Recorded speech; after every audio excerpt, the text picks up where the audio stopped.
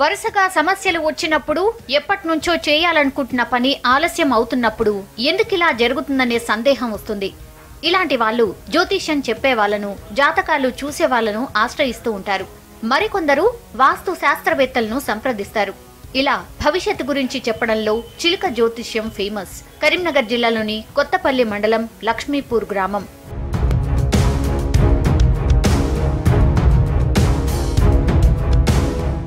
ఇక్కడ చిలుక జోష్యం చెప్పే కుటుంబాలు రెండు వందల వరకు ఉన్నాయి. ఒకప్పుడు కరీంనగర్ సమీపంలోని ఎలగందుల మఠంలో బావాజీలుగా పిలుచుకునే వీళ్ళంతా జ్యోతిష్యంపై పట్టు సాధించారు.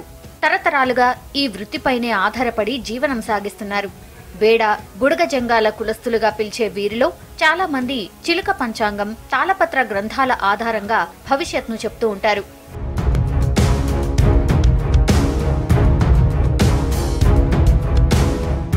చిలుకను అటవీ ప్రాంతం నుంచి చిన్నగా ఉన్నప్పుడే తీసుకొచ్చి వాటికి ప్రత్యేక శిక్షణ ఇస్తూ ఉంటారు.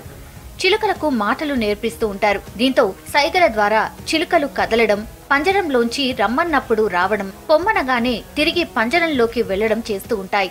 ఇబ్బంది ఏం పెడతాం సారు? ఇదే పత్త తీయించుడు దానికి ఇంత భోజనం పెట్టుడు మేము. తిన్నట్టు దానికి పెట్టుడు ఇన్న దోసకాయలు అరటి పండ్లు పెట్టి దాని పోషకర్తన? దాన్ని ఒక కడుపుల పిల్లోలే చూసుకుంటేనే అది ఉంటుంది మన దగ్గర.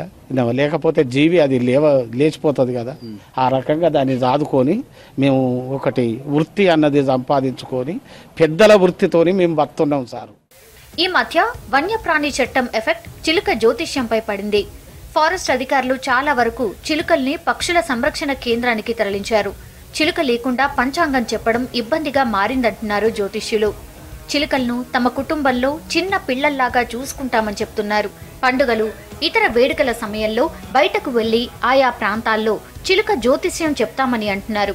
పేరు వయసు ఆధారంగా రాసులు లెక్కించి తాము చెప్పే జోష్యం ఎక్కువ శాతం నిజమే ఉంటుంది అంటున్నారు. ఇప్పుడు ఈ చిలుకలు కూడా మన దాకా కూడా ఇప్పుడు పోతే చేయాలన్నారు కొందరు ఎత్తుక పేరు. జైలు అన్నారు ఐదు వేల రూపాయలు జరిమానా అన్నారు. దీన్ని చూసేస్తారు సార్. సపోజ్ ఇది దీంతో ఏముండదు. కాకపోతే అట్లా నామకే వస్తువు ఎట్లా అన్నారు చిలుక అంటే మనం మన ట్రైనింగ్ బట్టి ఒక నెల రోజులు ఉంటుంది పది రోజులు ఉంటుంది ఎనిమిది రోజులలో కూడా కొన్ని చేయొచ్చు. వారం రోజుల్లోపు చేయొచ్చు. ఇక మాకు ఏం లేదు కానీ మాకు ఏదన్నా ఒక జాబే కానీ ఏదన్నా ఉంటే జీవనోపాధారం ఏది చూసినా చేస్తాం సార్. చిలుక జోష్యం కోసం లక్ష్మీపూర్ గ్రామానికి రాజకీయ నేతలు బడా వ్యాపారస్తులు చదువుకున్న వాళ్ళు వస్తూ ఉంటారు. రాష్ట్రంలోని వివిధ ప్రాంతాలతో పాటు ముంబై భీమండి షోలాపూర్ ఛత్తీస్గఢ్ రాష్ట్రాల నుంచి ఇక్కడికి వచ్చి చిలుక జ్యోతిష్యం చెప్పించుకుంటారు.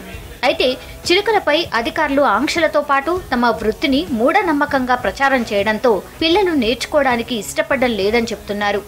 తమకు ప్రభుత్వం డబుల్ బెడ్రూమ్ ఇళ్ళు పింఛన్లు ఇవ్వాలంటున్నారు చిలుక జ్యోతిష్యులు.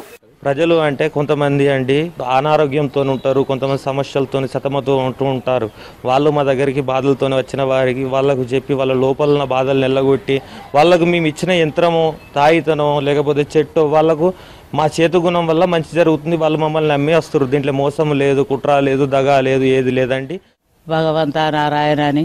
ఊకే దేశమే దేశాల ఫోటో తిరిగితే ఇంటింటికి ఇంటింటికి బిచ్చ పడుకొని అందరికి రాదు కదా పంచాంగం. వెనకటోళ్ళు ఏ సాధువు చెప్పిండ్రు ఏ సాధువు లేదు ఏ చేస్తారు రాజశంకర్ అని ఇంటి ముంగడికి పోతే ఇన్ని బియ్యం వేసిండ్రు ఇన్ని మక్కలు వేసే తల్లి ఇన్ని అడ్డు వేసే తల్లి వేసిండ్రు ఎట్నో తెచ్చుకున్నారు.